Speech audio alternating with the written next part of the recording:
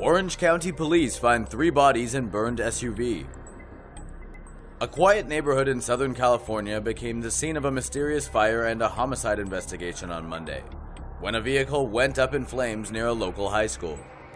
Orange County, California authorities received a report on Monday afternoon of a burning vehicle in a residential area near the 500 block of East Oakmont Avenue. At around 2:18 p.m., authorities were told that a black full-sized SUV was burning in the neighborhood. The driver of the vehicle may have ran from the scene as the fire started. When the fire was finally extinguished by the Orange County Fire Authority, the bodies of three males were found inside the vehicle. Using the vehicle's license plate, Orange County police were able to identify the vehicle. Police told the Orange County Register that the cause of the fire and the circumstances surrounding the three deaths remains unknown. Like this video? Don't forget to subscribe and follow us on Facebook, Google, and Twitter.